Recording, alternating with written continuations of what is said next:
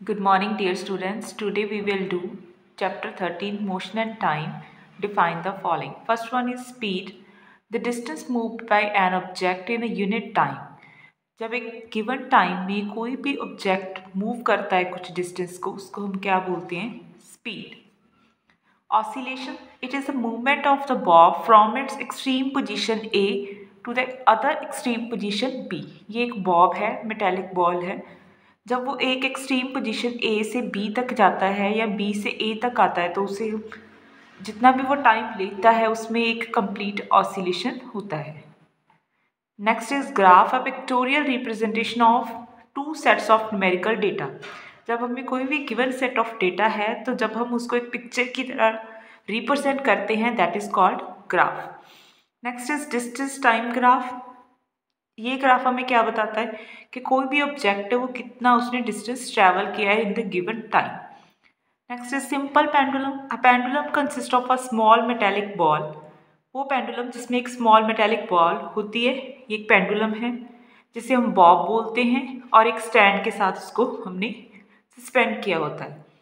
Time period time taken by pendulum to complete one oscillation एक oscillation complete करने के लिए मतलब एक बार बॉब को ए पोजीशन से बी तक जाने के लिए और वापस बी से ए तक आने के लिए कितना टाइम लग रहा है? That is called time period second क्या है? एक बेसिक यूनिट है टाइम का. Next is day the time between one sunrise and the next एक सनराइज से लेके दूसरे सनराइज का इतना जो टाइम होता है that is twenty four hour उसे हम क्या बोलते हैं? कंप्लीट डे नेक्स्ट कुछ इंपॉर्टेंट फार्मूलाज हैं। अगर हमें टाइम कैलकुलेट करना हो और डिस्टेंस और स्पीड गिवन हो तो हम टाइम कैसे फाइंड आउट करेंगे? Distance upon speed similarly distance find करने के लिए स्पीड को टाइम से मल्टीप्लाई कर देंगे और स्पीड फाइंड करने के लिए डिस्टेंस को टाइम से डिवाइड कर देंगे। नेक्स्ट है हमारे पास, हमने क्लासीफाई करना है कि कौन सा मोशन है? स्ट्रेट लाइन है, एक सीधी लाइन में जा रहा है, कोई भी ऑब्जेक्ट या सर्कल में घूम रहा है वो, या ऑसिलेटरी मतलब टू एंड फ्रो मोशन है लाइक पेंडुलम तो फ़र्स्ट है motion of your hand while running जब आप भाग रहे हैं तो हमारे जो हैंड की मूवमेंट है, वो क्या होगी? ऑसिलेटरी मतलब टू एंड फ्रो आगे पीछे मूव करेंगे. Motion of a horse pulling a cart on a straight road straight road पर अगर हॉर्स को पुल किया जा रहा है तो वो कौन सा मोशन होगा? Moving along a straight line motion of a child in a merry go round merry go round में घूम रहे हैं तो कौन सा मोशन होगा? Circular motion motion of a child on seesaw that is also oscillatory आगे पीछे सेम जा रहा है टू एंड फ्रो मोशन है। Motion of a hammer on electric bell that is also oscillatory motion of train on a straight bridge that is similar to the horse pulling a cart on a straight road that is straight line motion next हमें statement बतानी है कि वो correct है या नहीं। Time basic unit of time is second that is true basic unit जो time का है? सेकेंड है। Every object moves with a constant speed that is false सबकी स्पीड डिफरेंट होती है। Distance between two cities measured in kilometer that is correct. Time period of a given pendulum is constant that is not correct. Speed of a train is specified in meter per hour that is also not correct.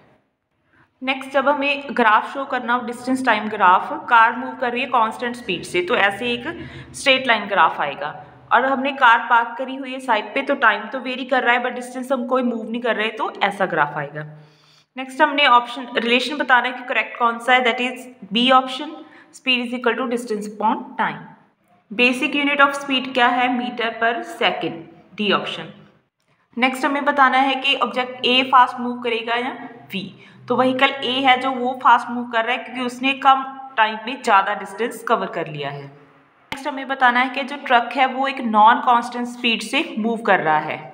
तो ये constant speeds की हैं। ये तो object move ही नहीं कर रहा है ओनली टाइम वेरी कर रहा है।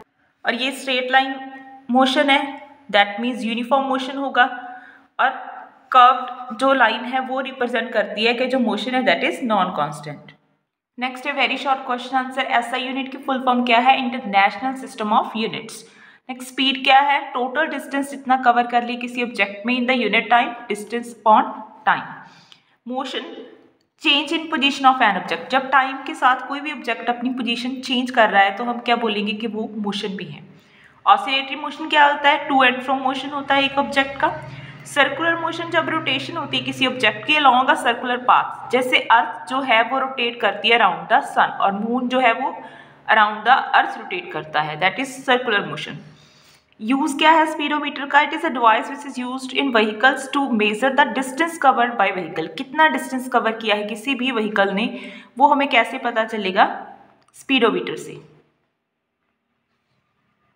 यहाँ पे आप थोड़ी सी करेक्शन कर लीजिएगा। यहाँ पे यूज़ ऑफ़ ऑडोमीटर है। तो ऑडोमीटर हमें डिस्टेंस के बारे में बताता है कितना कवर किया है और स्पीडोमीटर हमें स्पीड के बारे में बताता है। यूनिट ऑफ़ स्पीड हम यूज़ करेंगे एरोप्लेन की स्पीड को बताने के लिए। That is kilometre per hour और फ्रीली फॉलिंग जो बॉडी है, वो कौन सा मोशन पोजेस करेगी? लीनियर नेक्स्ट है जो हमने स्टेटमेंट की थी, उनको करेक्ट करना है. The basic unit of time is hour hour नहीं होता है, क्या होता है? सेकेंड जो हमने फ़र्स्ट स्टेटमेंट पढ़ी थी. नेक्स्ट है every object move with constant speed कौन सी स्पीड से वेरिएबल स्पीड होती है? तो इसे ऐसे करेक्ट कर सकते हैं हम. Distance between two cities is measured in kilometre यहाँ पे मीटर्स गिवन था तो हमने किलोमीटर कर दिया करेक्ट करके. Time period of a given pendulum is not constant constant नहीं होता है.